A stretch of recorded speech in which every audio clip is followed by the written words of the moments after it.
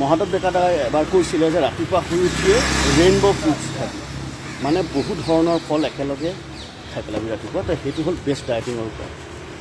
চ' আজি সেইকাৰণে rainbow fruits বিচাৰি উলিয়াইছোঁ গুৱাহাটীত আৰু মই এনেকুৱা এখন দোকানলৈ আহিছোঁ। এই দোকানখন আচলতে গাড়ীৰ পৰা চালিত হয়। মোৰ পিছফালে আছে পল্লৱী দেৱী। এবাৰ এনেই হাই কৰি দিয়ক বাকী কৈছে যে একো নকওঁ বোলে কেমেৰাত বোলে কৈ বেয়া পায়। বা আজিলৈকে কেমেৰাত কৈ পোৱা নাই। পল্লৱী দেৱী গুৱাহাটীত কোনোবা এটা চহৰৰ মাজমজিয়াত তেনেকুৱাকৈ গাড়ীৰে আহি গাড়ীৰ পৰাই দোকান চলায়। ফলৰ দোকান চলায় কটা ফল এনেকুৱাকৈ মোকো দিছে এটা পেকেট খাই।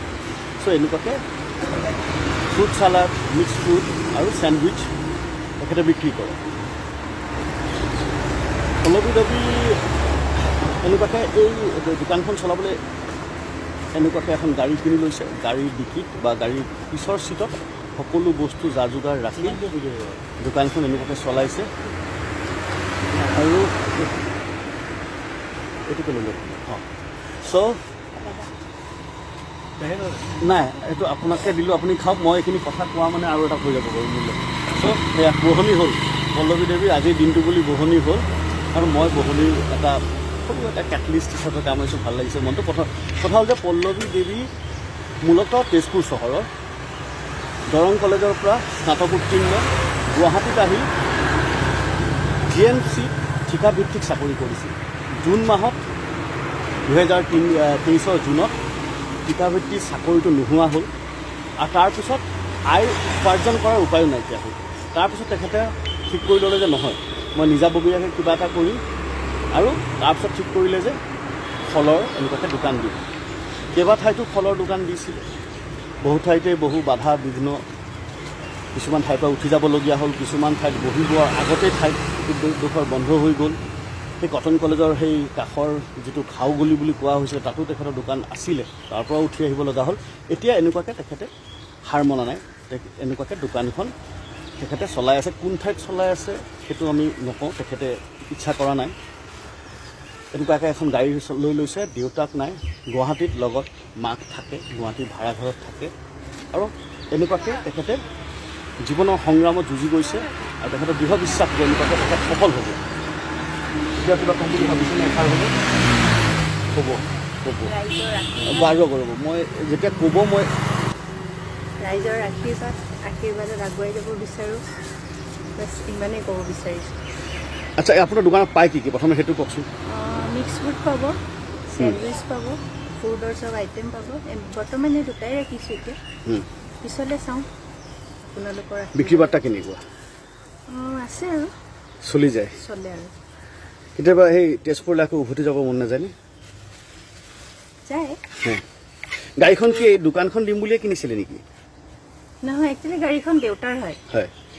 যেতিয়া মোৰ চাকৰি আছিলে তেতিয়া ঘৰতে আছিলে গাড়ীখন যেতিয়া চাকৰি গ'ল এতিয়া গাড়ীখনকে নিজৰ কৰি লৈছোঁ আৰু দোকান হিচাপে। কেইটা বজাত আহে আৰু কেইটা বজাত যায়? ৰাতিপুৱা মই সাতটাত আহি পাওঁ। আৰু যেতিয়ালৈকে থাকে বস্তু পাঁচটা চাৰে পাঁচটা। এটা কথা সোনকালে মুখ্য শেষ হ'লে সোনকালে গুচি যায় তেনেকৈ। হয়। অসুবিধা একো নাপায় এনেকুৱাকৈ গাড়ীখনৰ পৰা দোকান দিবলৈ?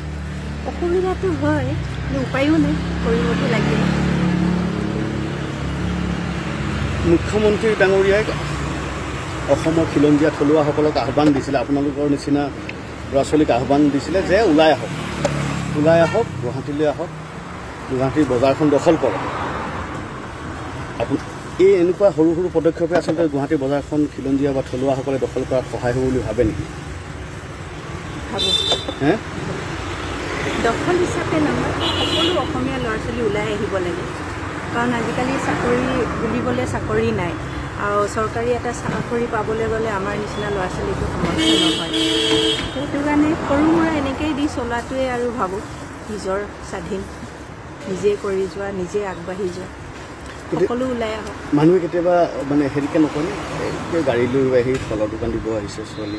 আজিলৈকে পোৱা নাই মই যেতিয়াৰ পৰা বহিছোঁ। ৰাইজৰ ছাপৰ্টহে পাইছে। সকলোৱে আশীৰ্বাদ কৰিছে আগুৱাই যোৱা আমি আছোঁ লগত। বা আমি য'ত দোকান দিছোঁ তেখেতৰ মানুহ ওচৰ পৰ্যায়ৰ মানুহখিনিয়ে কয় তুমি আগুৱাই যোৱা আছোঁ। কিন্তু ছোৱালী হিচাপে কেতিয়াবা অসুবিধা হয় উপায়ো নাই। আকৌ কেতিয়াবা চাকৰি কৰিব মন আছে নাই? হেমন্ত মামাই যদি দিয়ে আছে। চাক- চাকৰি কৰিব। হয়। চ' এনেকুৱাকৈ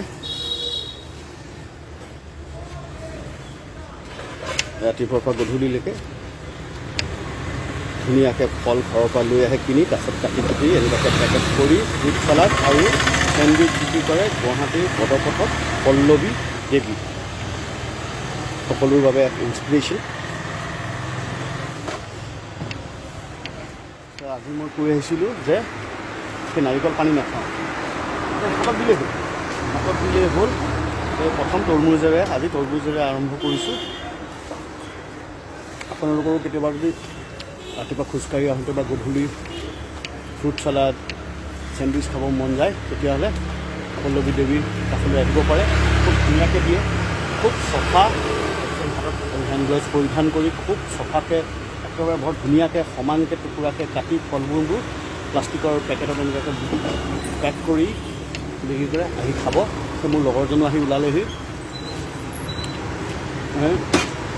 নেক্সট গ্ৰাহকক আনিছোঁ। ধন্যবাদ।